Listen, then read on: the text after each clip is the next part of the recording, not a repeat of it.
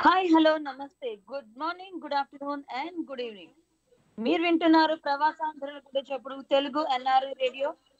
With your favourite RJ Saiji in a special live programme with Shivaram Srinivasarao గారు Vinjamuri so వీరి గురించి నేను ఆ, మీకు చెప్పే కన్నా ముందు వీరితో మాట్లాడాలంటే మీరు చేయాల్సిందల్లా భారతదేశం నుంచి అయితే nine seven zero five double two two double zero five USA నుంచి అయితే nine one nine seven zero one two double zero five అలాగే యూకే నుంచి అయితే double one five triple eight two double zero five నెంబర్స్కి call చేసి మాట్లాడొచ్చు. అలాగే Skype ID Telugu NRI radio ద్వారా కూడా కనెక్ట్ అయ్యి మాతో మాట్లాడొచ్చు. లేదు మీకు కాల్ చేసి మా క్వశ్చన్స్ అడగడానికి టైం లేదు వర్క్ బిజీలో ఉన్నారా? లేదంటే మీ సలహాలు సందేశాలు మాకు అందించాలనుకుంటే Telugu NRI radio at the rate Gmail dot కామ్కి కూడా ఈమెయిల్ చేయొచ్చు. ఫేస్బుక్లో మన పేజ్ తెలుగు ఎన్ఆర్ఏ రేడియోని లైక్ చేయండి ఎవ్రీ అప్డేట్స్ అండ్ ఇంటర్వ్యూస్ గురించి తెలుసుకోండి. సో ఈ రోజు నేను మీ ముందుకు తీసుకొచ్చిన ఒక విశిష్ట అతిథి గురించి మీకు క్లుప్తంగా చెప్తాను.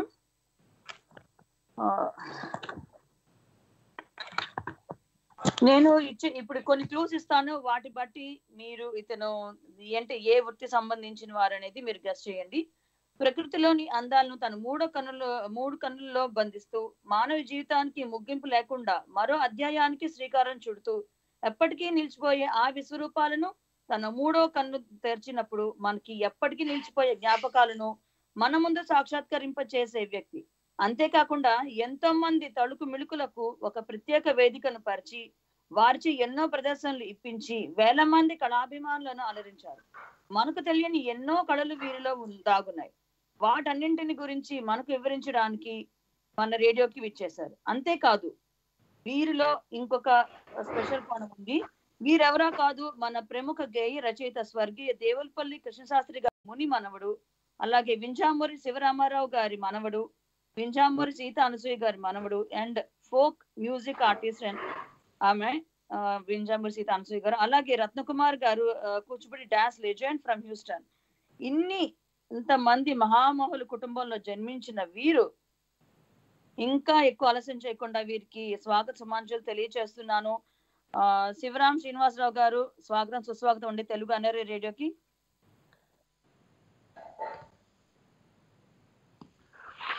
హలో నమస్తే అండి. థ్యాంక్ యూ సౌజన్య గారు. Thank you so much your most welcome sir అయితే మనకి ఇంట్రోలో చెప్పినట్టుగా మీరు సింపుల్గా.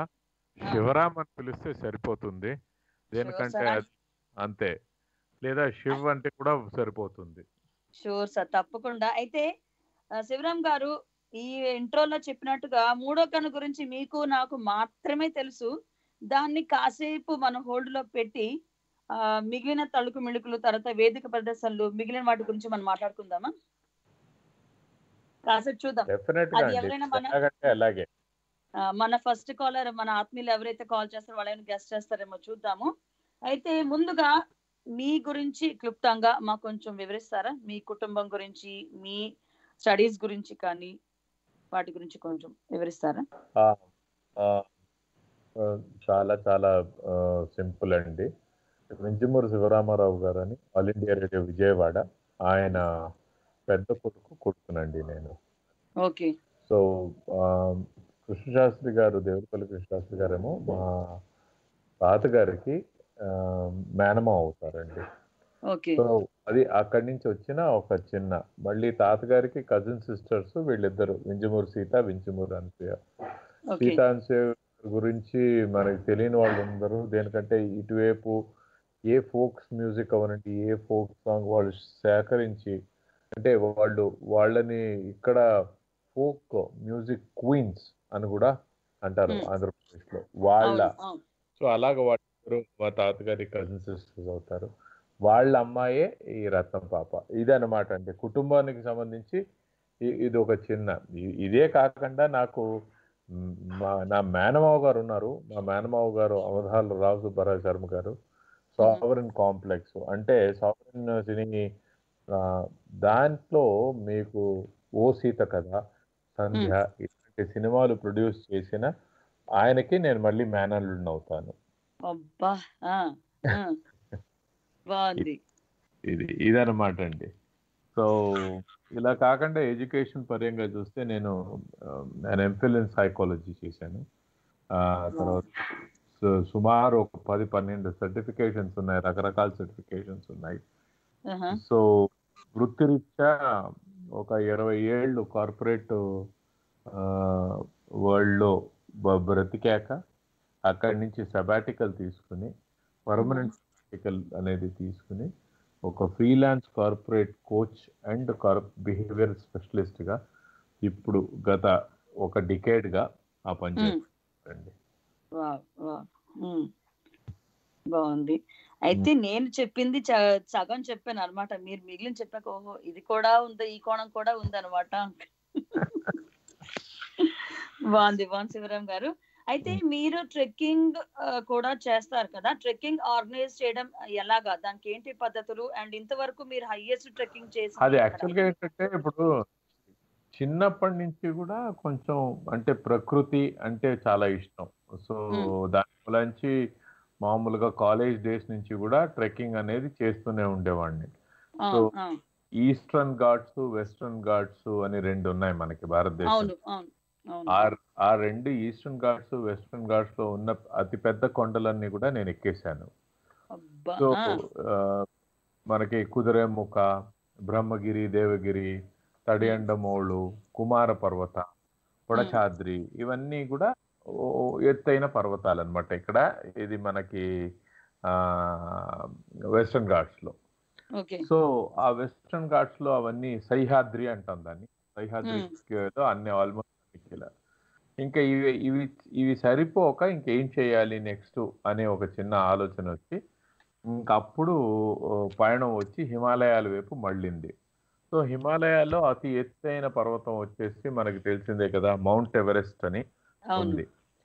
సో నేను మౌంట్ ఎవరెస్ట్ ముందు అసలు ఎట్లా ఉంటుంది అని ఒక చిన్న ట్రిప్ వేయడానికి మౌంట్ ఎవరెస్ట్ బేస్ క్యాంప్ అని ఒక ట్రెక్ ఉంటుందండి. అది మనం మౌంట్ ఎవరెస్ట్ బేస్ క్యాంప్ పదిహేడు రోజులు పడుతుంది. ట్రెక్ పదిహేడు రోజులు పడుతుంది. పంతొమ్మిది వేల పంతొమ్మిది వేల అడుగుల వరకు వెళ్తాం మనం. ఇంకా మీకు అక్కడి నుంచి జస్ట్ ఒక పదివేల అడుగులు ఇంకా పదివేల అడుగులు వెళ్తే మనం ఎవరెస్ట్ శిఖరాన్ని మనం అందుకుంటాం. సో అంతవరకు వెళ్ళి రిటర్న్ రావడం జరిగింది. సో ఇప్పుడు ఇప్పటి వరకు నాకు తెలిసిన వీటిల్లో అతి పెద్ద ట్రెక్ అంటే అది. రెండోది ఏం చేశాను అంటే ఆ మోటార్ బైక్ మీద కార్ దుంగ్లా పాస్ అని వస్తుంది అది highest motorable road in the world. అంటే ప్రపంచంలోనే అతి ఎత్తైన మోటరబుల్ రోడ్ కార్ Mhm. దుంగ్లా అని. పద్దెనిమిది వేల మూడు వందల ఎనభై అడుగుల్లో ఉంటుంది అది సో అది కూడా చేశాను అనమాట అండి బాగుంది బాగుంది సో అయితే ఈ మౌంట్ ఎవరెస్ట్ దానికి మీరు ట్రైల్ ట్రాంప్ వాట్ ఎవర్ మీరు చేసింది అది ఏ సంవత్సరంలో చేశారు? రెండు వేల పదకొండు అండి రెండు వేల పదకొండులోనే ఇటు ఇటు బ- బైకులో మనం కార్దుంగ్లా పాస్ వెళ్ళడము అలాగే అక్కడి నుంచి వచ్చాక మన దీనికి వెళ్ళి రావడం జరిగింది. Okay okay. సో అయితే ఇప్పుడు ఈ ట్రెక్కింగ్ అనేది ఎవరైనా తీసుకెళ్ళాలి ఎవరైనా మీతో రావాలి అన్నా మీరు ఎవరైనా తీసుకెళ్ళాలనుకున్నా మీ వాళ్ళు కానీ మీరు కానీ ఫాలో అవ్వాల్సిన రూల్స్ ఏంటండి? ముందండి ట్రెక్కింగ్కి చాలా ఇంపార్టెంట్ రూల్ ఏంటంటే ఫస్ట్ మనకి ధైర్యం. అంటే మనోధైర్యం అనేది చాలా చాలా ఇంపార్టెంట్ దేనికంటే ఒక ట్రెక్ అనేది మొదలెట్టాక మీకు ఆ, మనిషి అనేవాడు కనిపించడు. అది మనిషి అనేవాడు ఉండడు. మీరు మీరు మేబీ యూనో ఫస్ట్ ఫస్ట్ రోజు ఒక పది మందితో ఉన్నారనుకోండి మెల్లిమెల్లిగా మెల్లిమెల్లిగా మీ ఒంటరి ఒంటరి ప్రయాణం పయనం అనేది మొదలెడుతుంది. ఆ ఒంటరి ప్రయాణం చేసే ఒక ధైర్యం ఒక స్థైర్యం మనోబలం అనేది ఉండాలి. ఇది. ఫస్ట్. రెండోది ఫిజికల్గా ఫిట్ ఉండాలి. ఫిజికల్. ఫిట్ అంటే జిమ్కి వెళ్ళి యాభై గంటలు మనం ఎక్సర్సైజ్ చేయడం కాదండి. అంటే మనం చూసుకోవాలి. ఇప్పుడు ఒక ఒక ఏదైనా ఇట్లాంటి ట్రక్కి వెళ్ళాలంటే అంటే ఈ మౌంట్ ఎవరెస్ట్ లాంటి ట్రెక్కులకి వెళ్ళాలి అంటే ఆరు నెలల నుంచి మనం రెడీ అవ్వాలి. ఎలా రెడీ అవ్వాలి అంటే ఫస్ట్ ఫస్ట్ రోజు ఒక కిలోమీటర్ దగ్గర నుంచి మొదలెట్టి మనం ఆరు ఆరో నెల వచ్చేటప్పటికి కంఫర్టబుల్గా మనం ఒక మీద ఒక ఐదు నుంచి పది కేజీల వరకు బరువు మోసుకుని వెళ్ళే అంత, బలం వచ్చేయాలి మనకి ఆరో నెలకి. ఇది ఇది ఉంటే ఇది ఇప్పుడు ఇక్కడ ఏదైతే మనం భూమి మీద అంటే మామూలుగా సమానమైన ఒక చోట పది కిలోమీటర్లు ఏదైతే అంటున్నామో ఉమ్, కొండల్లో అది ట్వంటీ ఫైవ్ పర్సెంట్ పనికి వస్తుంది అంతే. అంటే అంతే. ఉమ్, ట్వంటీ ఫైవ్ పర్సెంట్ పనికి వస్తుంది అంటే మీరు కొండ ఎక్కిన వెంటనే ఇరవై రెండున్నర కిలోమీటర్లకి మీరు ఈ పది కిలోమీటర్లకి సంపాదించినంత ఎనర్జీ రెండున్నర కిలోమీటర్లకి అయిపోతుంది. ఉమ్, రోజు మనం అంతే నడుస్తాం దానికన్నా నడవం. ఆ రెండున్నర కిలోమీటర్లు కూడా దగ్గర దగ్గర ఆరు నుంచి ఏడు గంటలు పడుతుంది నడవడానికి. అదనమాట అండి సో. ఇది ఇప్పుడు తీసుకెళ్ళాలి అనుకోండి ముందే మేము తీసుకెళ్ళే ముందు కొన్ని. జాగ్రత్తలు చెప్తాము కొన్ని చెప్తాము. కొన్ని విషయాలన్నీ ఉంటాయి. అవన్నీ పాటించే వాళ్ళని అయితే తీసుకెళ్ళాలి ఇప్పుడు ఈ ఈ కొండల పైకి వెళ్ళి చాలా జాగ్రత్తలు పాటించాలి. ఇక్కడ. చాలా అంటే అనకూడదు కానివ్వండి ఇక్కడ మనం చాలా చాలా సింపుల్గా చెప్పాలి అంటే ఎయిర్ పాకెట్స్ ఉంటాయండి. ఎయిర్. పాకెట్స్ అంటే అక్కడ ఆక్సిజన్ అనేది ఉండదండి. మామూలుగా ఇప్పుడు ఇప్- ఇప్పుడు మనకి సంపూర్ణమైన ఆక్సిజన్ ఉంటుంది కదా అక్కడికి వెళ్ళేటప్పటికి అంటే నేను స్పెసిఫిక్గా ఇది చెప్తున్నది ఆ, పది నుంచి పన్నెండు వేల అడుగులు పైకి వెళ్ళిపోయాక పన్నెండు వేల. అడుగుల కింద మనకు ప్రాబ్లం ఉండదు ఉంటుంది. పన్నెండు వేల అడుగులు పైకి వెళ్ళాక అక్కడి నుంచి మీకు ఆక్సిజన్ ఎయిర్ పాకెట్స్ ఉంటుంది. ఒక్కొక్కసారి ఆక్సిజన్ దొరకదు. ఉమ్, యాక్యూట్ మౌంటన్ సిక్నెస్ అని ఒకటి ఉంటుంది. యాక్యూట్ మౌంటైన్ సిక్నెస్ అని. ఇలాంటివి వస్తాయి.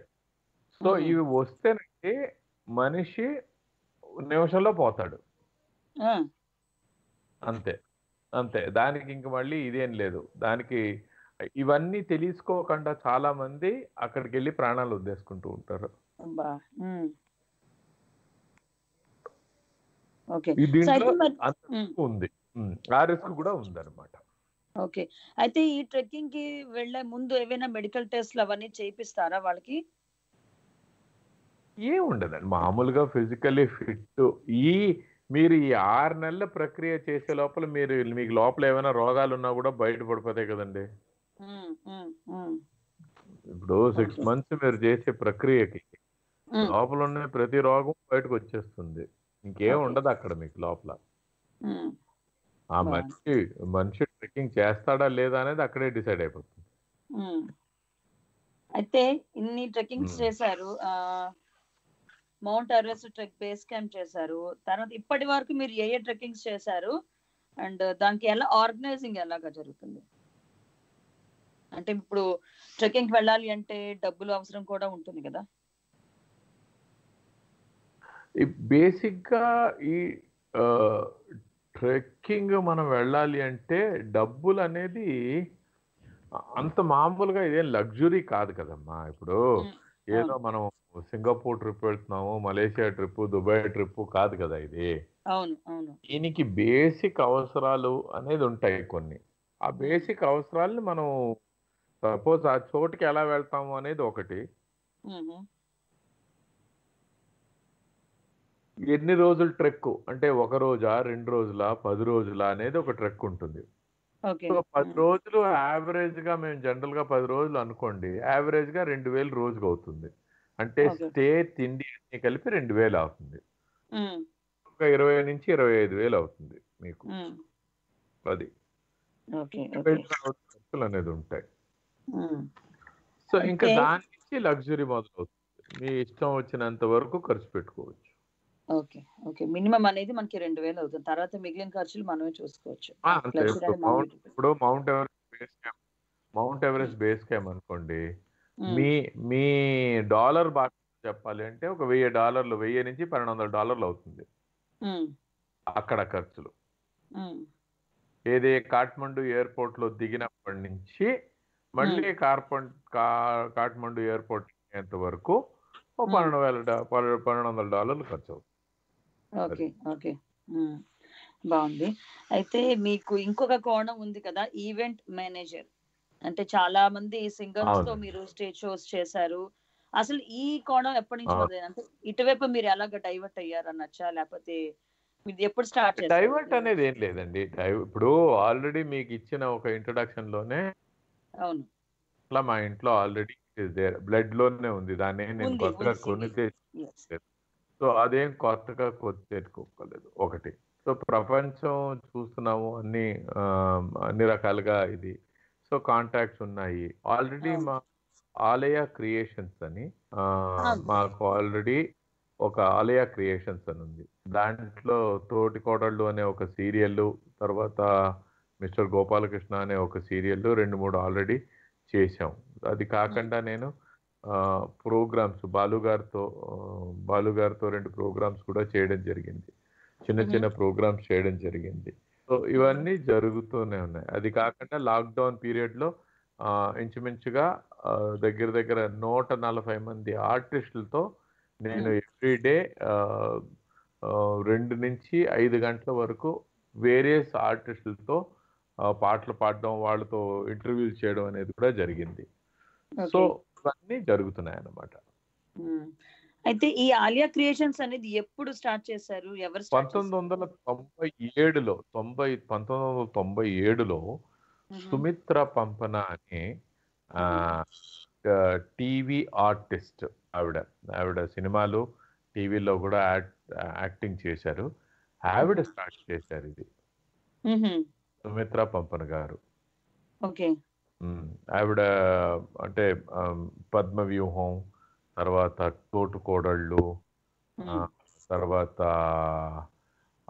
my name is Mangatayaru Kasturi ఇలాంటి చాలా చాలా సీరియల్స్లో దాదాపు ఒక వెయ్యి నుంచి పదిహేను వందల ఎపిసోడ్స్ పైగా ఆవిడ చేశారు.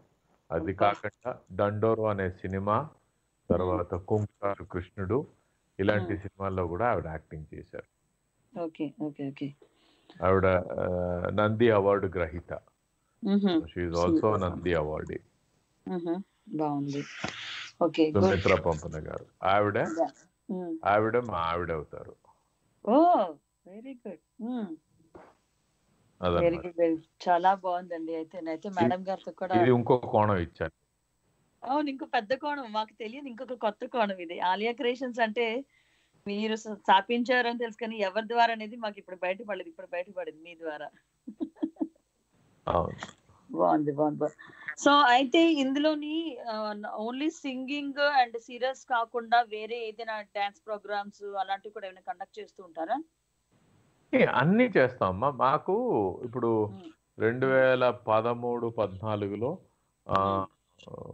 ఇంటర్నేషనల్ డాన్స్ ఫెస్టివల్ అనేది.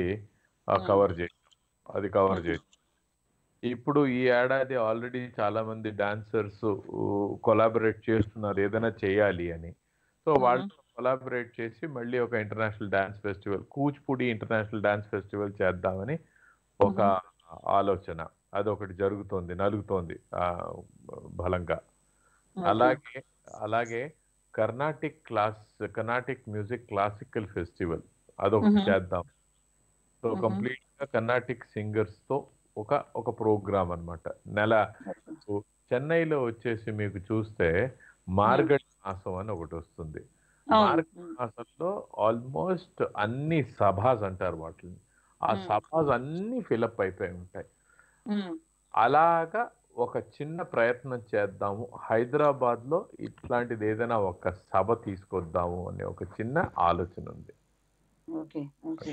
బాగుంది. ఉమ్. అయితే ఇంకొకటి దేవులపల్లి కృష్ణశాస్త్రి గారి మునిమనవుడు కాబట్టి మీకు ఏవైనా పోయిటరీలో ఎంట్రీ ఉందా? నేను ఆంగ్లంలో రాస్తానండి. నేను ఆంగ్లంలో రాస్తాను. నాకు ఒక బ్లాగ్ ఉంది. నేను బ్లాగ్స్ కూడా రాస్తూ ఉంటాను. వేరియస్ సోషల్ కాన్షియస్ ఇష్యూస్ మీద బ్లాగ్స్ రాస్తూ ఉంటాను. నా పేరు. మీద అది సో రాత ఉంది నాకు ఏమైందంటే నేను పుట్టి పెరగడం అంతా అంటే నాన్నగారు మైసూరు బెంగళూరు అటువైపు. పనిచేసేవారు ఆయన. అందువల్ల చేత ఏమైందంటే తెలుగు కింద కన్నడ ఆంగ్లము హిందీ అంటే. చదువుకున్నది మనం ఆ- మీడియంలో కాబట్టి. సో. కన్నడ ఆంగ్లము హిందీ అనేది ఎక్కువైంది. సో రాత రాత ఇంగ్లీష్లోకి వెళ్ళిపోయింది. సో తెలుగులో తక్కువైంది. తెలుగులో నేను మాట్లాడగలను కానీ చదవగలను కానీ రాయలేను. అందువలన చేత అటు మళ్ళింది అనమాట సో ఈ. టాలెంట్ ఎక్కడికో వెళ్ళకుండా డిఎన్ఏ ఆంగ్లంలోకి వచ్చింది అంతే వెరీ గుడ్. మనకి లాంగ్వేజ్తో ప్రాబ్లం లేదు. ఓకే. అయితే ఇంకొకటి మరి వింజామూరి శివరామారావు గారు లాగా ఏమైనా సింగింగ్ వైపు కానీ లేకపోతే ఆల్ ఇండియా రేడియోలో ప్రోగ్రామ్స్ చేయడం లేక సీతా అనసూయ గారు లాగా పాటల వైపు వెళ్ళడం అలాంటివి ఉన్నాయా? మీ మీ మాట నాకు అక్కడ మిస్ అయిందమ్మా. అదే అంటే ఇప్పుడు మన వింజామూరి శివరామారావు గారు లాగా ఆల్ ఇండియా రేడియో ఇంకొక ఇంకొకటి సౌజన్య గారు. చెప్పండి చెప్పండి సార్. వింజా లేదు అక్కడ వింజమురి. వింజమురి. వింజమూరి. సో వింజమూరి శివరామారావు గారు లాగా ఆల్ ఇండియా రేడియోలో ఒక యాంకర్గా చేయటం కానీ ఒక రేడియో జాకీ లాగా లేదంటే సీతా అనసూయ గారు లాగా మీరు ఏమైనా పాటలు పాడడం అలాంటివి ఏమైనా అదర్ యాక్టివిటీస్ ఉన్నాయా మీకు? అయ్యో అది ఎప్పుడో అంటే స్కూల్ కాలేజ్లో ఉన్నప్పుడు అదే అగైన్ యూనో అదే చెప్తున్నాను కదా మీ కాలేజ్లో ఉన్నప్పుడు I used to be a part of the chorus team and I used to sing a lot of folk Kannada folk songs. So అది తర్వాత పంతొమ్మిది వందల ఎనభై ఆరు ఎనభై ఏడులో. నేను I did a series of programme for Doordarshan Bengaluru for. Youth programmes చేశాను నేను యూత్ బేస్డ్ ప్రోగ్రామ్స్ దూరదర్శన్ కేంద్ర బెంగళూరుకి చేశాను. దాని తర్వాత చదువు అవ్వడము మనం అంటే మనం మన కంప్లీట్ ఆ రూట్ లోంచి మళ్ళీ మనం ఉద్యోగరీత్యా వెళ్ళిపోవడం అవన్నీ అయ్యి ఒక ఇరవై ఏళ్ళు అజ్ఞాతవాసంలో ఉన్నాం. అంటే కళలకి దూరంగా అజ్ఞాతవాసం చేసాం మనం. ఓకే సో ఓకే మళ్ళీ ఇరవై ఏళ్ళ తర్వాత పునర్ప్రవేశం చేసి ఈ గత ఏళ్ళ ఈ కార్యక్రమాల మీద ఫోకస్ పెట్టడం చూడటము చేయడము. ఒకటే నేను ఎప్పుడు ఆలోచించేది ఏంటంటే మామూలుగా ప్రోగ్రామ్ అనేది నేను చెయ్యను. ఏదైనా ఒక ప్రత్యేకత కావాలి అంటేనే నా దగ్గరికి రావాలి ప్రోగ్రామ్కి. అంతే ఏదో ప్రోగ్రామ్ చేస్తున్నారు కదా అనేది అవసరం లేదు. అది నుంచి that is my focus. Okay. Very good. చాలా అది బాగుంది. అది- చేయడానికి కోట్లాది మంది రెడీగా ఉన్నారు. పిచ్చాపాటి చేసేయడానికి దానికి నేను ఎందుకు మళ్ళీ? నాలాంటి లేదు. బాగా చెప్పారు. కరెక్ట్. ఆ, అయితే ఎస్ మనకి ఇంకా ఆత్మీయులు ఎవరు మన మూడో కన్ను గురించి చెప్పలేదు రివీల్ చేయలేదు కాబట్టి ఇంకా అందుకో దాని గురించి ఆలస్యం చేయకుండా నేనే రివీల్ చేసేస్తాను. అయితే ఈ మూడో కన్ను విషయం గురించి మనం లేట్ చేయకుండా మాట్లాడుకుంటే బెటర్ కొంచెం మీరు చెప్తారా వైల్డ్ లైఫ్ ఫోటోగ్రఫీ ఎలా స్టార్ట్ అయ్యింది? అది ఒక హాబీ లేకపోతే మీరు ఏమైనా దాని మీద కోర్స్ చేయడం జరిగిందా యాక్చువల్గా నేను ఆల్రెడీ మీకు ఇదివరకే అంటే మనం స్టార్టింగ్లో మాట్లాడుకున్న ఒక సబ్జెక్ట్ ఉంది కదమ్మా నేచర్ గురించి మాట్లాడుకున్నాం ప్రకృతి గురించి మాట్లాడుకున్నాం సో. ఆ ప్రకృతి అనేది నాకు ఐదో ఏట మొదలైంది ఐదో. ఏట మాకు. బెంగళూరులో బర్డ్ వాచింగ్ సొసైటీ అని ఉండేది సో ఇంటి పక్కన ఒక అంకుల్ ఉండేవారు. ఆయన బర్డ్. వాచింగ్ సొసైటీకి వెళ్ళాం సో అప్పుడు ఆయన ఆయన వాళ్ళ పిల్లలతో పాటు నన్ను కూడా తీసుకెళ్ళడం జరిగింది. So Indian Institute of Science అని ఐఏఎస్సి బెంగళూరులో బర్డ్స్ అలా ఉండేవి.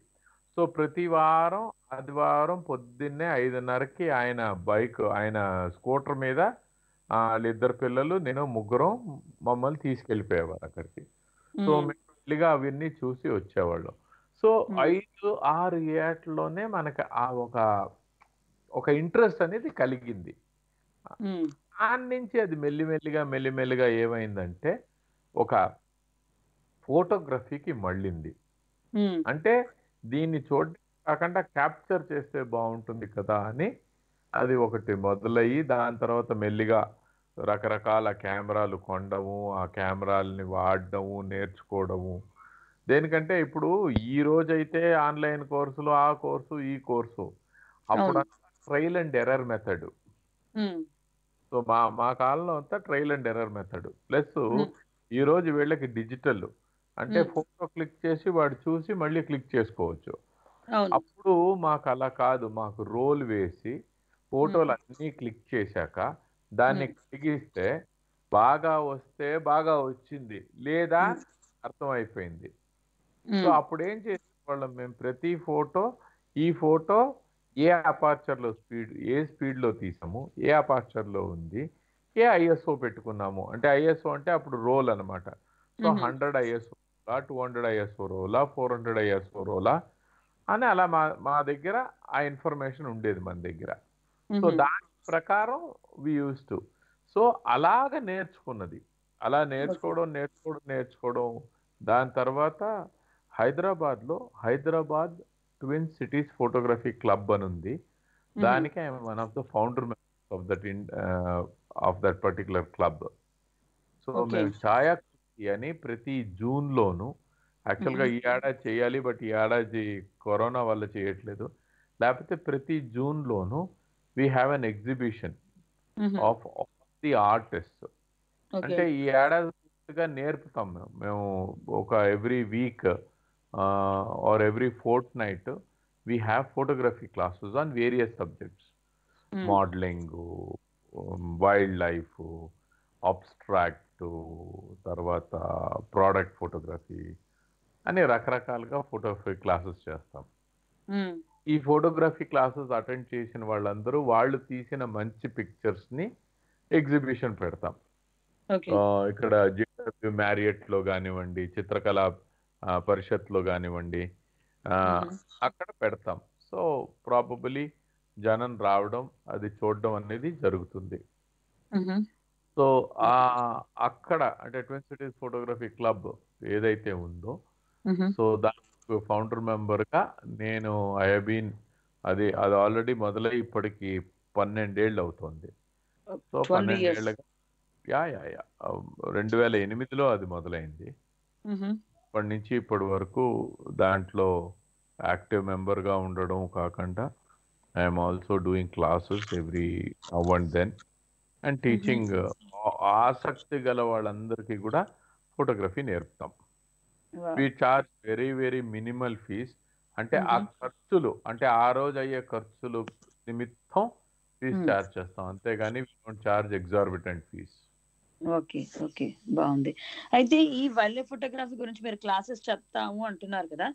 సో అది మరి ఇప్పుడు ఈ. కరోనా టైంలోని మీకు ఫేస్ టు ఫేస్ క్లాసెస్ కుదరినప్పుడు ఆన్లైన్ క్లాసెస్ కూడా ఏం చేస్తారా మీరు? ఆన్లైన్ అండి ఆన్లైన్ అండి. ఇప్పుడు ప్రస్తుతానికి we're doing only online interactive classes. Okay. Okay so మరి ఆన్లైన్ క్లాసెస్ ఎవరైనా నేర్చుకోవాలి అంటే what is the process to reach మిమ్మల్ని ఎలా కాంటాక్ట్ చేయొచ్చు? ఏ అదేం పెద్ద సింపుల్గా అండి నాది బేసిక్లీ నాది స్కైప్ ఐడి ఆల్రెడీ ఉంది. వింషీరా అని. Hmm. తర్వాత మీరు ఫేస్బుక్లోకి వెళ్ళి శివరాం శ్రీనివాస వింజమూరి అని కొడితే అక్కడ మీకు చాటు భారతం వస్తుంది. అలాగే. అలాగే మీరు ఫేస్బుక్లో వెతికినా దొరుకుతుంది ఇన్స్టాగ్రామ్లో దొరికినా వెతుకుతుంది వెతికినా దొరుకుతుంది. ఒకటే పేరు ఎక్కడైనా వింజమూరి శ్రీనివాస శివరాం. ఓకే. సో దేంట్లో అయినా ఇది ఇక్కడికి మీరు దేంట్లో అయినా ఒక మెసేజ్ పడేయచ్చు. అంతే. మనం అంత పెద్ద ఇన్ యాక్సెసిబుల్ అలాంటివి ఏం లేదు. దేనికంటే నేను I already done teaching for IAGC Indian Academy for Computer Graphics అని ఉంది హైదరాబాద్లో దే ఆల్సో టీచ్ ఫోటోగ్రఫీ వాళ్ళకి ప్రతి ఏడాది స్టిల్ ఫోటోగ్రఫీ నేర్పుతాను వాళ్ళ స్టూడెంట్స్కి last year I was teaching the students in Ramanaidu films studios.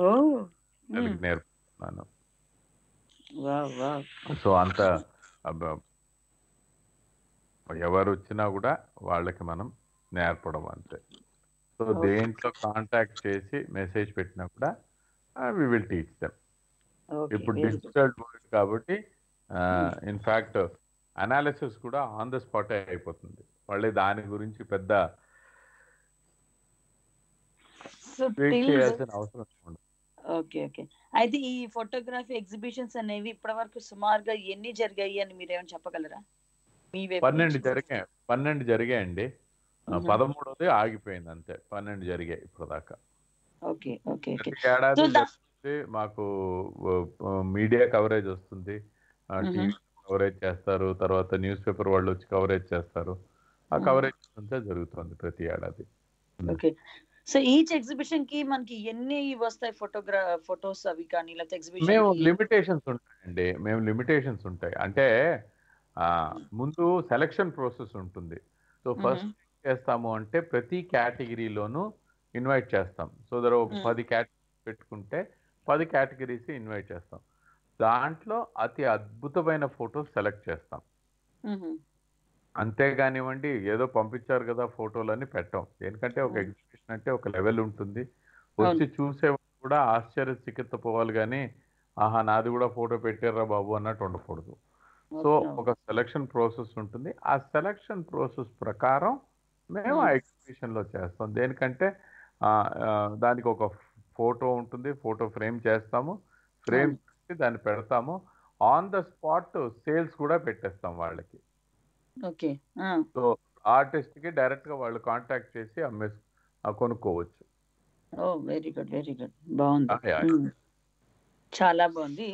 అయితే coming to your family Devulapalli Krishnashastri గారి గురించి మీకు తెలిసిన కొన్ని విషయాలు మాతో పంచుకుంటారా?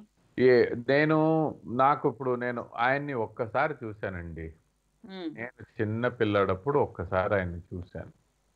ఆయన ఇంటికి వెళ్ళడంటే నాన్నగారును తీసుకెళ్ళడం జరిగింది. నాన్నగారితో పాటు వెళ్ళడం వాళ్ళు వెళ్ళి వాళ్ళందరినీ అంటే ఇప్పుడు ఆ తాతయ్య బుజ్జయ్య గారు ఉన్నారు ఆయన్ని వాళ్ళందరినీ చూడటం. డెబ్బై ఎనిమిది డెబ్బై తొమ్మిది పంతొమ్మిది వందల డెబ్బై ఎనిమిది డెబ్బై తొమ్మిదిలో జరిగింది. అది. అప్పుడు అదొకటే ఒక ఒక పరిచయం అనుకోండి. If I'm. Not the only time I saw that okay. దాని తర్వాత ఏంటంటే చాలా చాలా అంటే ఇప్పుడు నేను ఒక తరుణంలో ఒక డాక్యుమెంటరీ చేస్తూ ఉన్నాను ఒక పెద్ద అయింది ఆ. డాక్యుమెంటరీ చేస్తుంటే చాలా మందిని కలిశాను అనమాట యాక్టర్ని పెద్ద పెద్ద వాళ్ళందరినీ. అలాగా కలుసుకుంటే దాసనారాయణరావు గారిని కలవడం అనేది జరిగింది ఆ ఇంటర్వ్యూలో.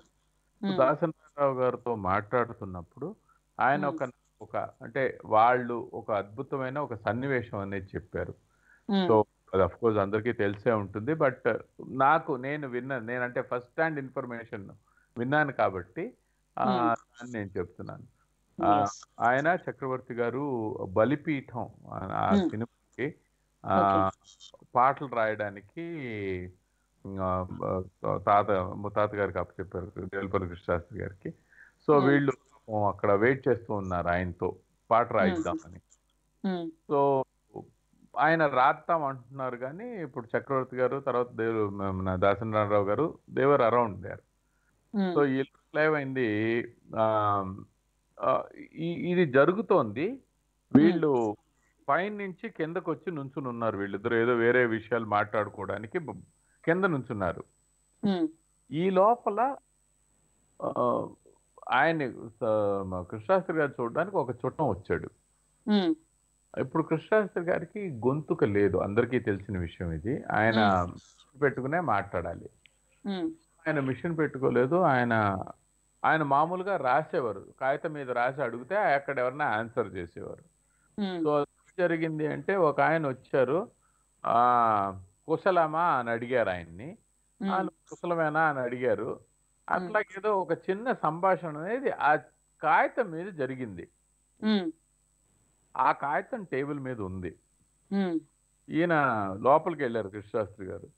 ఈ లోపల మన చక్రవర్తి గారును తర్వాత మన దేశ దాసనారాయణ గారు పైకి వచ్చారు. సో చక్రవర్తి గారు అది చూసేసి అబ్బా అద్భుతంగా ఉంది ఇది. ఎంత అసలు ఎంత బ్యూటిఫుల్ లైన్ ఇది అని చెప్పి కుశలమా నీవు కుశలమే. ఆ పాట ఉంది చూసారా? ఆ పాట అనుకుని వీళ్ళు మొదలెట్టేశారు. అయ్యో అంటే వాళ్ళ వాళ్ళ అనుకున్నారు. ఈ సంభాషణ వాళ్ళకి తెలియదు కదా. ఇది. చాలా బాగుంది అని. ఈ లోపల ఆయన వచ్చి చూసి అడిగారు అనమాట ఏంటా మీరు రాయడం కూడా మొదలెట్టేశారా? అని. వాళ్ళు అయ్యా అయ్యా గురువు గారు మేము ఎందుకు రాస్తామంటే అది మీరు రాసింది అని అన్నారు. నేను రాయడం ఏంటి? ఆయన ఎవడో వస్తే ఆయనకి రాశాను నేను. అంటే వాళ్ళు వెంటనే ఆ వాళ్ళు వెంటనే ఏమన్నారు అంటే వాళ్ళు వెంటనే ఏమన్నారంటే అయ్యా కరెక్టేనండి ఇది బేసిక్గా మీరు అనుకుంటున్నది. ఏదైనా కానివ్వండి బట్. ఈ లైన్ చాలా బాగుంది ఈ లైన్ అద్భుతం ఈ లైన్ పట్టుకోండి అంటే. ఆయన దాని తర్వాత పదిహేను నిమిషాల్లో ఆయనకి వాళ్ళకి పాట రాసి ఇచ్చేశారు పదిహేను నిమిషాల్లో అంతే. అంటే ఆ లైన్ ఫస్ట్ లైన్ దొరికిన వెంటనే ఇంకా టక టక టక టక నెక్స్ట్ పదిహేను ఇరవై నిమిషాల్లో రాసి ఇచ్చేశారు. ఇది నాకు ఇది నాకు అంటే ఇలాగా ఈ విషయం తెలిసింది. చాలా బాగుంది చాలా బాగుంది. అలాగే ఇప్పుడు ఎప్పుడు అమ్మమ్మ వచ్చే- చెన్నై వచ్చినప్పుడల్లా అనసూయ అమ్మమ్మ గారు వచ్చినప్పుడల్లా చాలా విషయాలు చెప్పేవారు ఇట్లాంటివి. పాటల గురించి ఈ రాయడము వాళ్ళు కూర్చుని మ్యూజిక్ చేయడము. అవన్నీ కూడా అలా విన్నవేనండి. బాగుంది. చాలా బాగుందండి. అయితే శివరాం గారు మనకు ఒక ఆత్మీయులు వచ్చారు. ఒకసారి వాళ్ళతో మాట్లాడదాము. శ్రీదేవి గారు నమస్తే అండి. బాగున్నారా? హలో. నమస్కారం సౌజన్య ఆంటీ. నేను అమృతాని మాట్లాడుతున్నాను. హాయ్ నన్న అమృత. మాట్లా మనకి శివరాం అంకుల్ ఉన్నారు మాట్లాడు అంకుల్ తోని ఓకే. అలాగే. నమస్కారం ఆంటీ. నమస్తే అమ్మా నమస్తే అమ్మా. నా పేరు అమృత. నేను ఆ, శాన్ అంటోనియో టెక్సస్ నుంచి మాట్లాడుతున్నాను. నాకు మా ఫ్యామిలీ అందరికీ ట్రెక్కింగ్ అంటే చాలా ఇష్టం. టూ ఇయర్స్ అగో నేపాల్లో ట్రెక్కింగ్ వెళ్దాం అనుకున్నాము కానీ రైనీ సీజన్ అని వెళ్ళలేకపోయాము. అప్పుడు ఆ, ఇవాళ అప్పుడు నాకు అసలు తెలీదు ఎలా వెళ్ళాలో ఏం చేయాలో కానీ మీ దగ్గర నుంచి ఇవాళ నేను చాలా నేర్చుకున్నాను. థ్యాంక్ యూ అండి. థ్యాంక్ యూ మా థ్యాంక్ యూ సో మచ్ మా.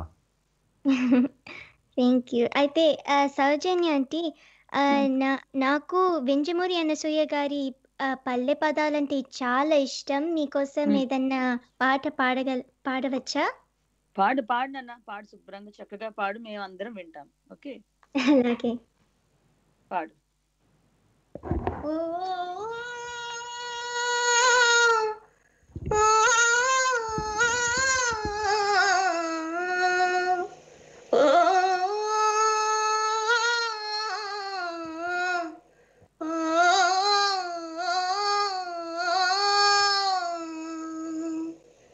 మొక్కజొన్న తోటలో ముసిరిన చీకట్లలో మొక్కజొన్న తోటలో ముసిరిన చీకట్లలో. మంచి కడ కలుసుకో మరువకు మామయ్య మంచి కడ కలుసుకో మరువకు మామయ్య.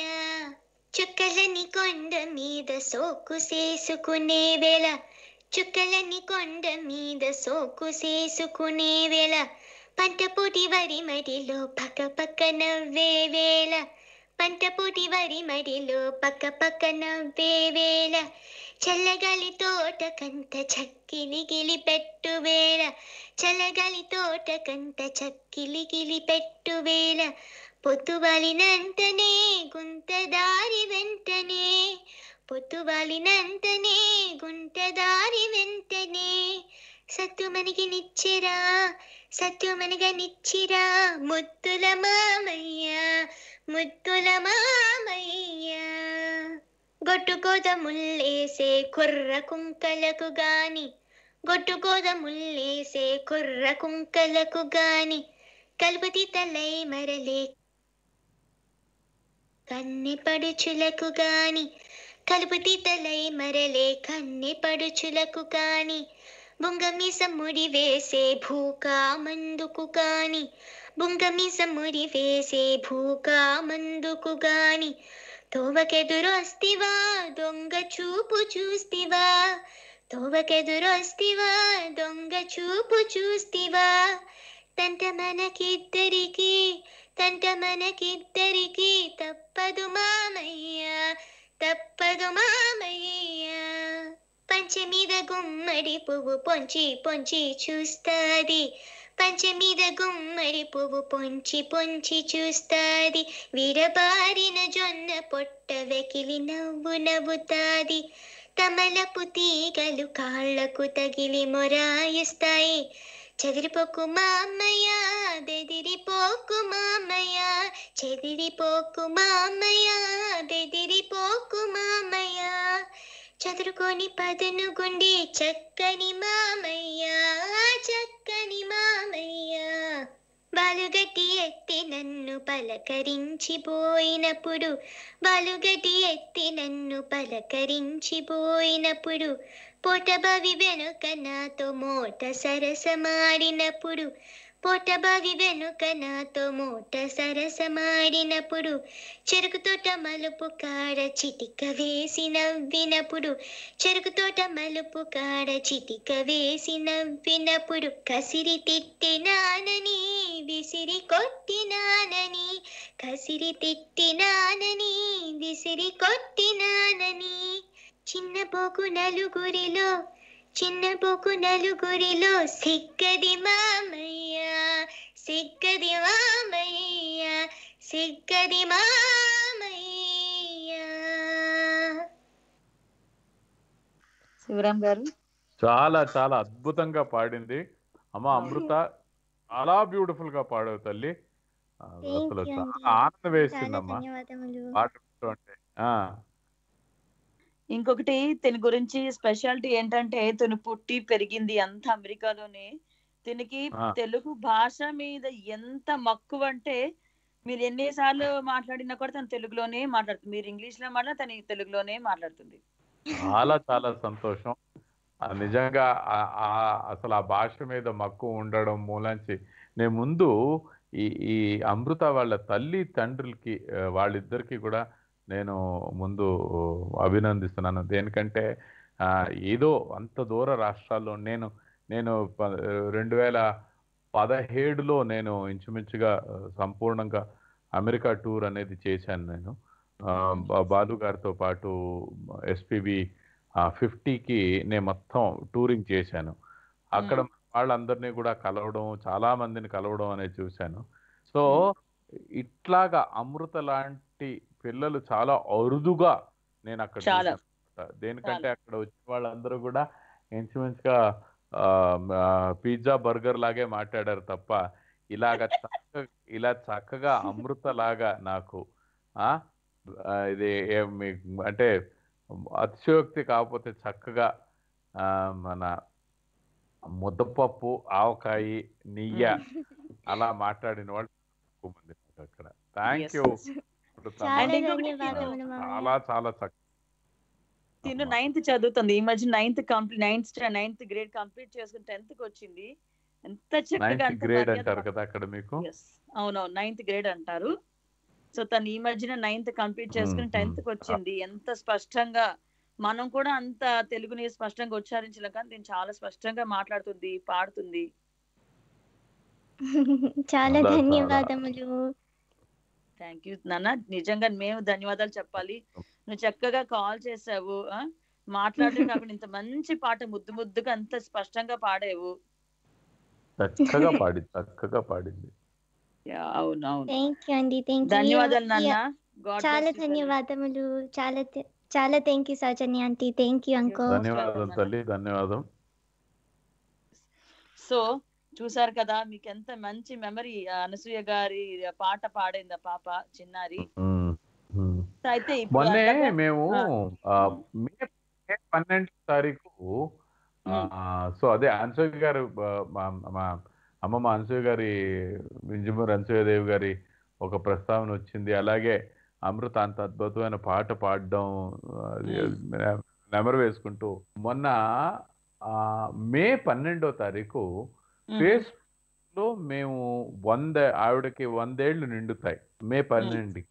సో శతది శత శత సంవత్సరకం అనేది చేశాం సో. దాన్ని అసమాన అనసూయ అని ఒక ప్రోగ్రామ్ చేశాం సో. దాంట్లో ఓలేటి పార్వతీశం గారు ఆయన చిత్తరంజన్ గారు అలాగే మల్లాది సూర్బాబు గారు. వీళ్ళందరూ కూడా వీళ్ళందరూ కూడా పాల్గొనడం అనేది జరిగింది ఆ వేదవతి ప్రభాకర్ ప్రభాకర్ గారు తర్వాత శారదా శ్రీనివాసన్ గారు. వీళ్ళందరూ కూడా పెద్ద పెద్ద వాళ్ళందరూ కూడా కార్యక్రమం చేయడం అనేది జరిగింది. దానికి. నేను హోస్ట్ చేయడము ఆ రోజు మేము మూడున్నర గంటలు చేసామండి ఆ ప్రోగ్రాము. వీళ్ళందరూ మాట్లాడడం ప్లస్ పాటలు చాలా మంది రామాచారి గారు సో అక్కడ అందరికీ కూడా తెలుసు రామాచారి గారు సురేఖ. దివాకర్ తర్వాత ఎన్సిహెచ్ ఆవిడ మన హిమబిందు తర్వాత శశికళ స్వామి విజయలక్ష్మి వీళ్ళందరూ కూడా ఆ రోజు వీళ్ళందరూ కూడా లైట్ మ్యూజిక్ పాడారనమాట. అన్ని పాటలు ఒక్కొక్క పాట రెండు రెండు పాటలు అనేది వాళ్ళు అంటే ఆవిడని గుర్తు చేసుకుంటూ ఆవిడ నేర్పిన పాటలు వీళ్ళు విన్న పాటలు వీళ్ళు నేర్చుకున్న పాటలు ఇవన్నీ కూడా ఒక గంట సేపు చేసాం ఇప్పుడు ఇప్పుడు కూడా ఫేస్బుక్లో అది ఉంది. వింజమూరి అనసూయాదేవి అనే పేజ్లో ఆ. కార్యక్రమం మొత్తం సో మీరు అక్కడ కూడా చూడొచ్చు. ఎస్ చాలా బాగుంది. అయితే ఇంకా పాప ఎలాగో చిన్నారి ఎలాగో పాడింది అని మీరు చెప్పారు. అయితే మాకు ఇంకా కొన్ని వివరాలు ఏమైనా అనసూయ గారి గురించి చెప్పగలరా? ఆవిడ ఆవిడ యాక్చువల్గా చెప్పాలి అంటే భారతదేశంలో నాకు తెలుసుండి. అంటే నాకు నాకున్న కొద్ది చిన్న ఒక జ్ఞానంతో నేను చెప్పగలను అంటే ఆవిడ first South Indian women music director. అంటే అప్పటిదాకా విమెన్ మ్యూజిక్ డైరెక్టర్ లేరు ఈవిడే. First South Indian women music director. ఈవిడ చాలా పాటలు అంటే చాలా పాటలు కాంపోజ్ చేసినవి. చాలా మంది ఇప్పటి వరకు దాన్ని యూజ్ చేశారు సో. దాని ఆ- ఆ విషయం చెప్పడంలో అతిశయోక్తి ఏం లేదు ఈ. రోజు ఎవరైనా ఎవరైనా కాదు అవి ఇవి అంటారేమో కానివ్వండి బట్ వీళ్ళు చేసిన ట్యూన్స్ వీళ్ళు. చేసిన ట్యూన్స్ సీతా గారు చేసిన ట్యూన్స్ ఆ కాలంలో చాలా చాలా సినిమాల్లో ఆ. వాడు యూజ్ జరిగింది సో జానపదం అన్న వెంటనే ముందు ఏ ఏమండి ఏ మ్యూజిక్ డైరెక్టర్ కానివ్వండి వెంటనే ముందు ఇటు ఈవిడ్ని చూసేవారు. మన. సీత అంశయ్య గారిని చూసేవారు. వీళ్ళిద్దరిని చూసేవారు సో Mhm. సీత గారు ఒక రెండు సినిమాలకు కూడా ఆవిడ మ్యూజిక్ డైరెక్టర్ ఇవ్వడం జరిగింది. సో అలాగా వీళ్ళిద్దరూ కూడా చాలా ఫేమస్. వీళ్ళిద్దరూ అంటే పల్లె పిల్లలు అన్ని చోట్ల తిరిగి సేకరణ అనేది చేసేవారు. అంటే అద్భుతమైన పల్లె పాటలు సేకరణ అనేది చేసేవారు. ఈ అక్కడి నుంచి మొదలయ్యి ఆవిడ పుస్తకాలు రాయడం జరిగింది. అంటే ఒక ప్రత్యేకత ఉందండి ఆవిడ పుస్తకంలో ప్రత్యేకత ఉంది మామూలుగా ఏదో రాసి పడేయడం కాకుండా ప్రతి పాటకి కూడా ఆవిడ స్వరం కూడా వేసేశారు. అంటే. ఎవరు కానీ అది తీసుకుంటే ఏ స్వరంలో ఉంది ఏ రాగంలో ఉంది అని కూడా తెలిసిపోతుంది. అంటే మీరు ఆలోచించండి. ఒక పల్లె పాటని తీసుకొచ్చి ఆవిడ స్వరం కట్టారు.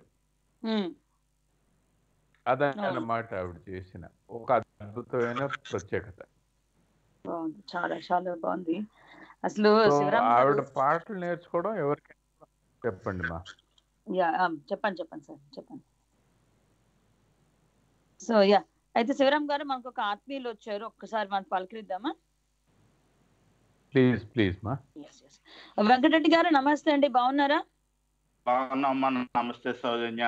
మంచి కళాకారులను తీసుకొచ్చో మాకు ఎంతో పరిచయం ఉన్న మనుషులతో ఈ వీరి పరిచయం ఉండటం గట్రా నాకు అదృష్టంగా భావించి ఎలాగైనా శివరామ్ గారితో ఒకసారి మాట్లాడాలని మీ మాటలు. వింటుంటే ఆబ్జే బుద్ధి లేదు నాకు.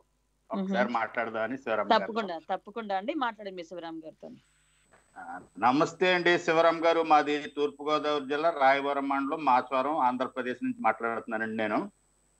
ఆ, వింజమూరి రాయవరం మండలం. మాచవరం అండి ఆంధ్రప్రదేశ్.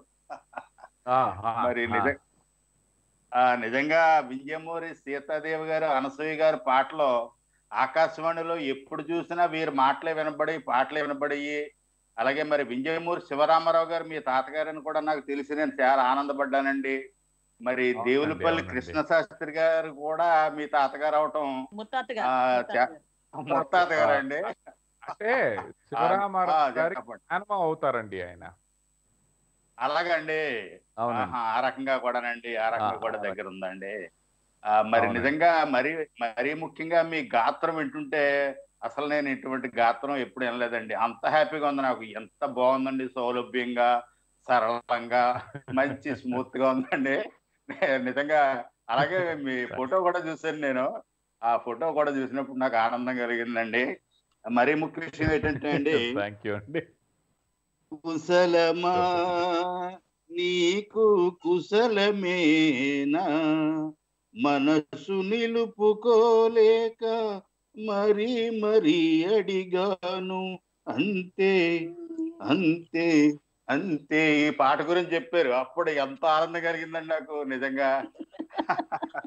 ఆ, మరి ఇంకో మాట చెప్పాలి మా శివరామ్ గారికి. మరి నాకు దేవులపల్లి కృష్ణ శాస్త్రి గారు రాసిన పాటల్లో ఒక చిన్న పాట అండి ఎంతో ఇష్టం అండి ఆకాశ వీధిలో హాయిగా ఎగిరేవు దేశ దేశాలన్నీ తిరిగి చూశావు. ఎడతానున్నాడో బావా నడ తెలిసిన పోయిరావా అందాల ఓ మేఘమాల ఓ అందాల ఓ మేఘమాల. నిజంగా ఎంతో ఇష్టం అండి పాట నాకు. ఆ మరి చాలా. సంతోషం మాట్లాడటం. జరిగింది.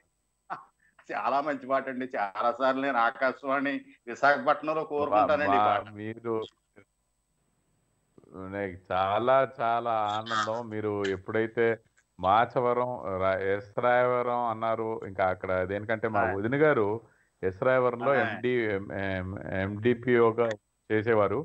ఎస్ రాయవరం మండలంలో చేసేవారు ఆవిడ నిర్మల బొట్ట నిర్మల గారు. అంటే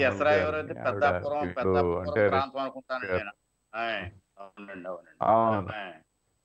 రాయవరం అటువైపు అంతా ఆవిడ చేశారనమాట అండి. సో అందువల్ల చేత అక్కడికి కూడా మాకు ఒక ఆనందమే మీ మీతో మాట్లాడుతుంటే చాలా చాలా ఆనందం అండి. తర్వాత మీరు మీరు ఈవెంట్స్ నిర్వర్తించడం ఏంటి? ట్రెక్కింగ్ అన్ని విషయాలు చెప్తున్నారు అలాగే అమృత్ కూడా నాకు చాలా అభిమానంగా ఆవిడ మాటలు వింటుంటే చాలా హ్యాపీ కలుగుద్దండి. మంచి భవిష్యత్తు ఉందండి అమృతకు కూడా. మీరు కూడా దీవించారు. వారి తల్లిదండ్రులకి కూడా మనం అభినందనలు చెప్పుకోవాలండి. మన సౌజన్య గారు కూడా మంచి మంచి వారిని తీసుకొస్తున్నారండి నిజంగా. సౌజన్య గారు ఎవరిని తీసుకొచ్చినా నాకు పరిచయం ఉంటున్నారు వీళ్ళందరూ కూడా. చాలా చాలా. సంతోషం మరి ఉంటానండి. సమయం అమూల్యమైంది మీరు ఇద్దరు ఇంకెన్నో విషయాలు మాట్లాడాలి. కదండి. ఉంటానండి. అమ్మ అలాగే అండి థ్యాంక్ యూ సో చూసారు కదా శివరామ్ గారు మనకి రెండు మంచి పాటలు పాడి వినిపించేశారు వెంకటరెడ్డి గారు. అవును అవును అవును. ఒక్కసారి ఎక్కడికో పాస్ట్ తాత ముత్తాత గారిని గుర్తు చేసేసుకున్నారా? పాటల ద్వారా కూడా? అంటే వీళ్ళందరూ ఇప్పుడు వీళ్ళు ఏంటంటేనండి వీళ్ళు అంటే ఫిజికల్లీ మన ఎదురుగుండా లేరండి వీళ్ళు. బట్ వీళ్ళు. ఏంటంటే ఒక ఒక ఒక చెరగని ఒక చరిత్ర అనేది సృష్టించి వెళ్ళారు ఇప్పుడు మనం ఇన్ని మాట్లాడుకుంటున్నాం అండి ఆ, ఇప్పుడు శివరామారావు గారు ఒక అద్భుతమైన పాట అనేది ఒకటి రాశారు. అంటే చాలా పాటల్లో అందరికీ తెలిసిన ఒక పాపులర్ పాట. దీని గురించి ఒక చిన్న ప్రస్తావన చెప్తాను నేను. నేను రావుపాల్ సరస్వతి గారిని కలవడం జరిగింది. ఆవిడ. అప్పుడప్పుడు కలుస్తూ ఉంటాను. ఏదో ఒక సందర్భం కలవడం జరిగినప్పుడు మేము మాట్లాడుకుంటూ ఉన్నాం. ఆవిడ నాకు చెప్పారు పంతొమ్మిది వందల ముప్పై ఏడు ముప్పై ఎనిమిది ఆ ప్రాంతంలో తాతగారు ఆవిడ దగ్గరికి వెళ్ళి ఆవిడ ఆవిడ మహారాణి అండి. కోలంక మహారాణి ఆవిడ. ఆవిడ రావు బాల సరస్వతి గారు యాక్చువల్గా మహారాణి గారు. ఆ ఆ కోలంక ఆవిడ అప్పుడు ఈయన వెళ్ళి ఆవిడకి పాట నేర్పి రికార్డింగ్ చేయించారు దాని తర్వాత. అది ఏ పాట అంటే నల్ల నల్లని వాడ నీ గొల్ల నోయి. ఉమ్, నల్లని వాడా నీ గొల్ల పిల్లను. సో ఈ పాట. దీని గురించి నాకు ఆవిడ అంటే ఇప్పుడు ఆవిడ ఎలాగో ఉన్నారు కాబట్టి ఆవిడ నాకు చెప్పారనమాట ఇప్పుడు ఇప్పుడు అది చూడండి. మీరు ఎంత కాలమైనా కూడా అది అలాగే ఉంటుంది.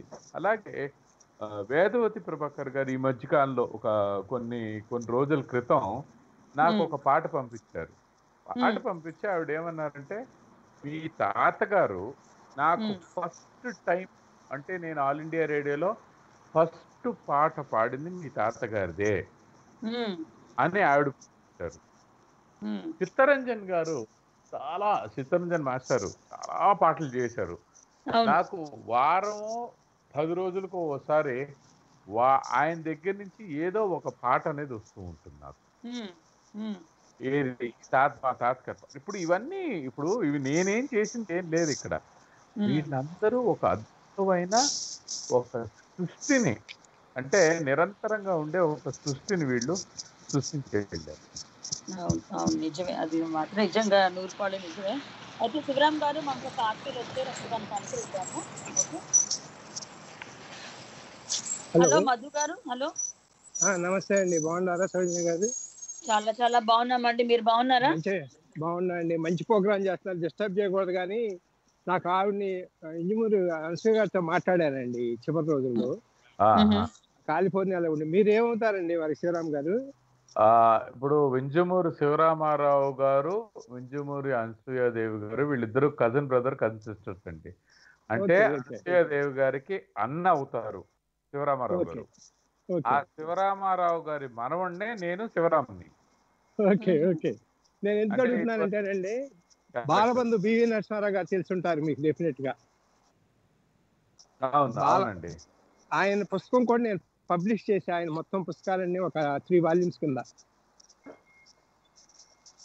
Two two thousand fourteen two thousand ఫోర్టీన్లో. ఆ టైంలో దాని గురించి ఆమె వ్యాసం కోసం మాట్లాడాను అనమాట తర్వాత వాళ్ళ అబ్బాయి మా. చెన్నెళ్ళ వాళ్ళ అబ్బాయి మా చెన్నెల పంపిస్తే ఎనిమిది పేజీలు రాశారు ఆవిడ కానీ ఒక పేజీలో ఎన్ని స్కాన్ చేసినా పంపిస్తే మేము. అది పబ్లిష్ చేసాం ఆవిడ ఆర్టికల్ కూడా కాకపోతే ఆవిడ తర్వాత ఇండియా వచ్చారు ఈ పుస్తకాలు పంపించే ఆవిడకి పంపిస్తే ఆవిడ ఏదో. రాశారంటే ఇంపార్టెంట్ నువ్వు మిస్ అయిపోయావని చాలా కోపంగా నన్ను కలవలేదు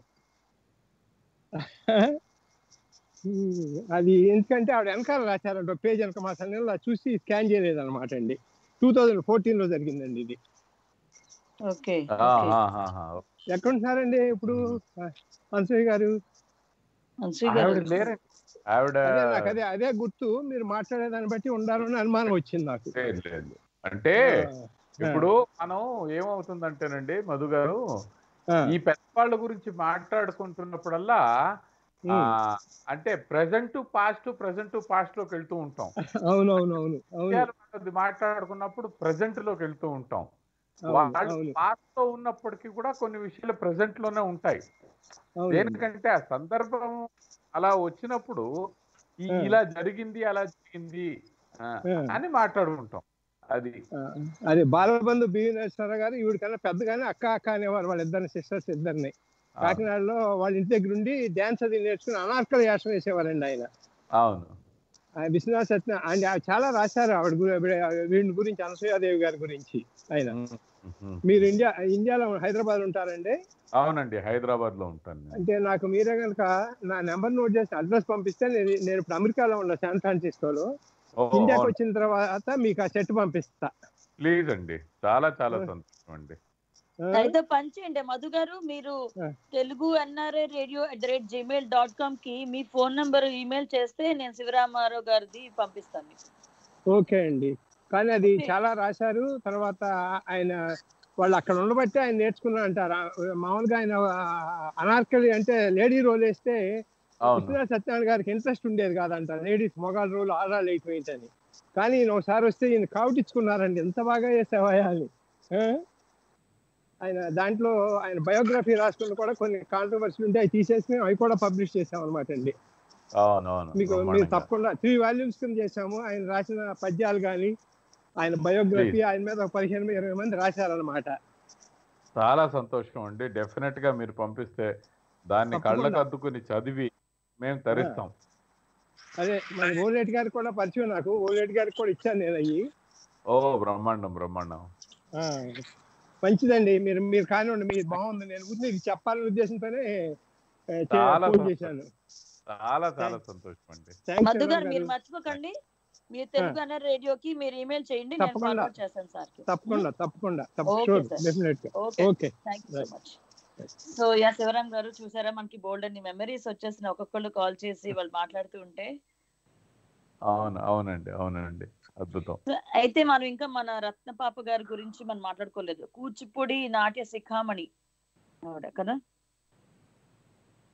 ఆవిడ ఆవిడ అద్భుతం అండి ఆవిడ అంటే అంటే ఎంతమందికి గుర్తుంది అనేది తెలియదు కానీ ఆవిడ బాలనటి. ఆవిడ she acted in a movie when she was just about three years old. ఆవిడకి మూడేళ్ళు ఉండగా ఆవిడ సినిమాలో ఆవిడ యాక్టింగ్ చేసేసింది. ఆవిడ అప్పుడే నటి ఆవిడ. సో ఆవిడ అలాగా ఆవిడ చేయడము తర్వాత నాట్యం చే ఆవిడ కళాక్షేత్రంలో ఆవిడ నేర్చుకోవడము తర్వాత అద్భుతంగా అంటే ఇప్పుడు ఎంత ఎంత వరకు అంటే ఇంచుమించుగా ఆవిడ అరంగేట్రాలు ఎంతమంది పిల్లలకి నేర్పిందండి అక్కడ? ఎంతమంది పిల్లలకి నేర్పిందండి? వీళ్ళు వీళ్ళు వన్ ఆఫ్ ది ప్రవాసీ ఆంధ్రుల్లో వీళ్ళందరూ ముందు ముందు ఉంటారు. వీళ్ళు అంటే వీళ్ళు అక్కడికి వెళ్ళిపోయే దగ్గర దగ్గర నలభై యాభై ఏళ్ళు అయిపోయినాయి ఇక్కడి నుంచి వాళ్ళు. అప్పుడే వీళ్ళు ఎస్టాబ్లిష్ చేసి అక్కడ అద్భుతమైన కళాశాల ఆవిడ నడుపు నడుపుతూ హ్యూస్టన్లో ఆవిడ ఎంతమంది పిల్లలకి అరంగేట్రం చేయించి అసలు ఫస్ట్ అరంగేట్రం చేయించిన వాళ్ళ మనవలకు కూడా అరంగేట్రాలు జరిగిపోయినాయి ఇప్పుడు. అబ్బా!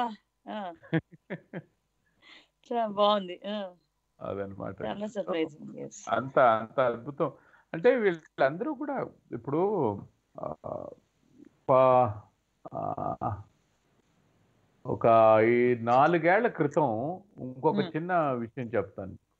నాలుగేళ్ళ క్రితం అనుసూయమ్మ ఇక్కడ ఇండియాకి వచ్చినప్పుడు మ్. కలవడానికి సడన్గా ఒరే మనవడా హార్మోనియం పట్టరా అని.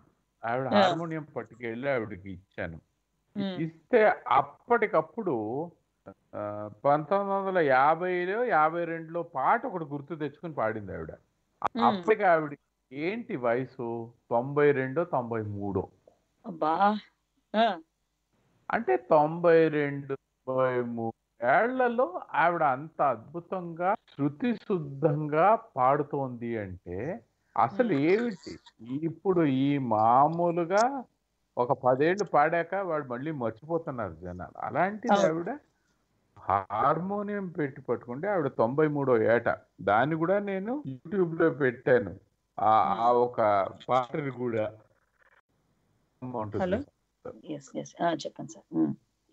బాగుంది బాగుంది. వాళ్ళందరూ కూడా ఒక వచ్చారనమాట బాగుంది. చాలా బాగుందండి. అసలు మీతో మాట్లాడుతుంటే ఇంకా ఎన్నో ఎన్నో ఎన్నో అడగాలనిపిస్తుంది ఎన్నో మాట్లాడాలనిపిస్తుంది. కానీ మనకి సమయం కూడా మించిపోతుంది. అయితే ఇంకొకసారి మన శ్రోతలందరికీ ఇప్పుడు ఆత్మీయులందరికీ చాలా మందికి వైల్డ్ లైఫ్ ఫోటోగ్రఫీ మీద చాలా ఇష్టం ఉన్నవాడు ఉన్నారు. ఫోటోగ్రఫీ అనేది ఒక హాబీగా లేదా ఒక కోర్సుగా చెయ్యాలి అని అనుకుంటున్నారు. వాళ్ళకి మీరు ఇంకేమైనా లైక్ టిప్స్ ఇద్దాం అనుకుంటున్నారా? ఎవరికమ్మా? నాకు ఆ క్వశ్చన్ మిస్ అయిపోయింది. అంటే ఇప్పుడు మనకి ఆత్మీయులు చాలా మందికి ఇది వైల్డ్ లైఫ్ ఫోటోగ్రఫీ. ఫోటోగ్రఫీ అనేది ఒక హాబీగా డెవలప్ చేసుకోవడం అనేది ఇంట్రెస్ట్గా ఉంటుంది కొంతమందికి. రెండు సింపుల్ అమ్మా నేను నేను వైల్డ్ లైఫ్ ఫోటోగ్రఫీ ఈ ఫోటోగ్రఫీ ఆ ఫోటోగ్రఫీ అన్నాం. యాక్చువల్గా మీరు ఎక్కడో పరిగెట్టుకెళ్ళి ఫోటోగ్రఫీ చేయక్కల్లా. ఉమ్, మనం ఒక కెమెరా రెడీగా పెట్టుకుని ఆదివారం అనేది ఒక గంట రెండు గంటలో మూడు గంటలో మనకి మనం కేటాయించుకుని మనం. ఉన్న పరిసరాల్లో చుట్టుపక్కల తిరగడం మొదలెట్టి పక్షులు తర్వాత చెట్లు పువ్వులు ఇవి తీయడం మొదలెడితే ఆటోమేటిక్గా ఇంట్రెస్ట్ అనేది బయలుదేరుతుంది. ఇది ప్రతి వారం ఒక పనిగా పెట్టుకోవాలి. అంతేగానివ్వండి ఏదో ఒక రోజు చేశాను అంటే కుదరదు.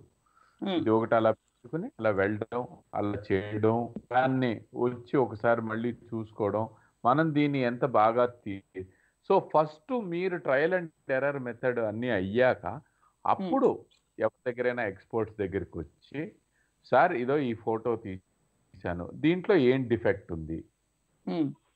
దేనికంటే ఫోటోగ్రఫీ ఆల్ క్యాలిక్యులేషన్స్ సో అప్పుడు మీకు ఎవరో చెప్తారు ఇది చేయండి ఇలా చేయండి అలా తీస్తే బాగుంటుంది ఇది.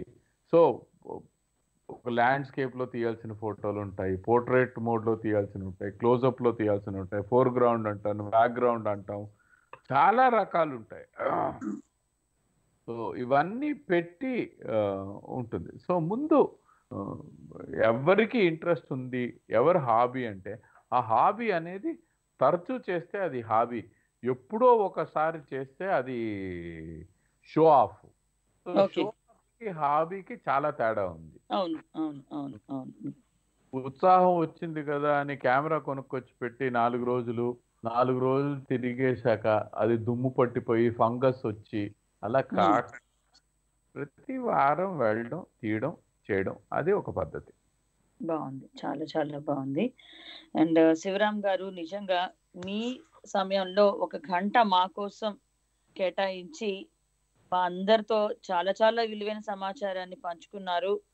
అండ్ వైల్డ్ లైఫ్ ఫోటోగ్రఫీ కానివ్వండి లేకపోతే మీ కుటుంబ సభ్యులందరి గురించి కానివ్వండి చాలా విలువైన సమాచారాన్ని మాకు అందించారు. చాలా చాలా ధన్యవాదాలండి మీకు. Thank you thank you Soujanya గారు. థ్యాంక్ యూ సో మచ్ మీరు ఫస్ట్ ఆఫ్ ఆల్ నన్ను ఈ కార్యక్రమానికి పిలవడమును. సో ఈ ఈ నాకు ఇన్వైట్ చేయడం మీరు చాలా బాగుంది. తెలుగు ఎన్ఆర్ఐ రేడియో వాళ్ళందరికీ కూడా మొత్తం యాజమాన్యం దగ్గర నుంచి ఈ కార్యక్రమానికి సంబంధించిన ప్రతి ప్రతి ఒక్కళ్ళకి కూడా నేను ధన్యవాదాలు చెప్తున్నాను. ఎందుకంటే ఒక ఒక ఒక ప్రోగ్రామ్ చేయాలంటే చాలా మంది కావాల్సి వస్తారు. ప్రాంత మొత్తం టెక్నికల్ స్టాఫ్ దగ్గర నుంచి అందరు అందరికీ కూడా నా తరఫు నుంచి దయచేసి ధన్యవాదాలు చెప్పేయండి. చక్కగా. మాట్లాడుతున్నాం చక్కగా కాలర్స్ అందరికీ కూడా వచ్చిన వాళ్ళందరికీ కూడా ధన్యవాదాలమ్మా. Thank you sir thank you so much. ధన్యవాదాలండి. ధన్యవాదాలు. Okay yeah. సో వినారు కన్నా ఆత్మీయులు మనకి చక్కగా శివరామ్ గారు వచ్చి ఒకటి కాదు రెండు కాదు ఎన్నో ఎన్నో అమూల్యమైన విషయాల గురించి తన అభిప్రాయాల్ని తన జ్ఞాపకాలను మనతో పంచుకున్నారు. ఇలాగే ఇంకా మంచి మంచి చాలా యునిక్ పర్సనాలిటీస్ చాలా విశిష్టమైన అతిథుల్ని మీ ముందుకు తీసుకొచ్చేస్తాను. అంతవరకు వింటునండి తెలుగు ఎన్ఆర్ రేడియో. ఇది ప్రవాసాందరి గుండె చెప్పుడు. Signing off me favourite RJ Saiji bye bye have a nice day ఇండియాలో పడుకున్న వాళ్ళందరికీ కూడా have a safe and peaceful sleep thank you so much